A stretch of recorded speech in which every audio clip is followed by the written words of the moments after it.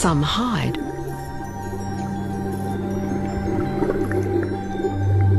Some form schools, while others find an unlikely friend for protection.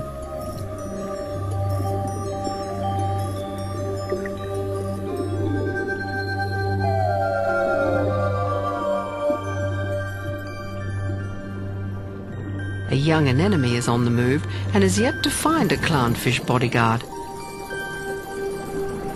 A pesky butterfly fish takes advantage and attacks.